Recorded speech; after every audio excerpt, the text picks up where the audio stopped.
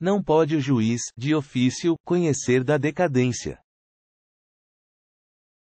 Analisando a questão, você responde, verdadeiro ou falso? O gabarito é falso.